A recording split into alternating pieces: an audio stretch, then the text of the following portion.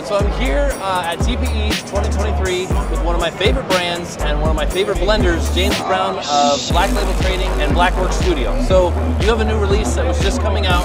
We got it coming to the shop, which is the Santa Muerte. If you don't mind just kind of giving us a breakdown. Sure. Yeah. So it's kind of a new release. So Santa Muerte is a cigar that we've done a couple times in the past. Right. Um, it's always been a limited release for us, and you know it's just one of those cigars that we just had constant demand for. Right. right. Um,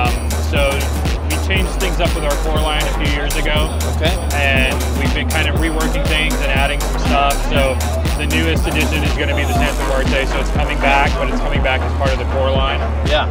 Yeah. Uh, so same blend, okay. um, but we did actually add an additional size. So it's going to be coming uh, in the Corona Gorda, the Robusto, and now a Lonsdale as nice, well. So. Nice. Yeah, which is kind of like that short Lancero right, type exactly, of deal. Yeah. And I tried it in the Robusto, absolutely loved it. Um, and